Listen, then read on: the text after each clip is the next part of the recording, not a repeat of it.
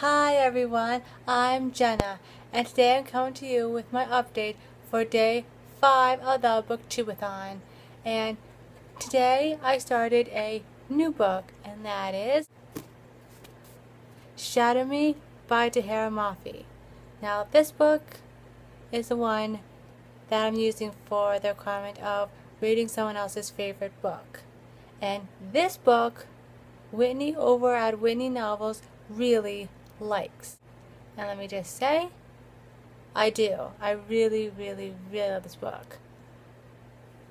And I'm only 141 pages into this book. And I only read for the morning sprints and for the night sprints. I didn't read in the free time because I was busy editing and making videos for this channel. So I didn't read in that time.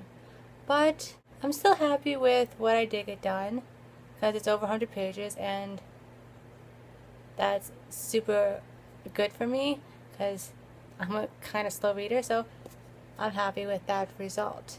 So if you combine today's number with day 1, 2, 3, and 4, we get a grand total of 1,000 160 pages, which could be better, but I'm very happy with that result.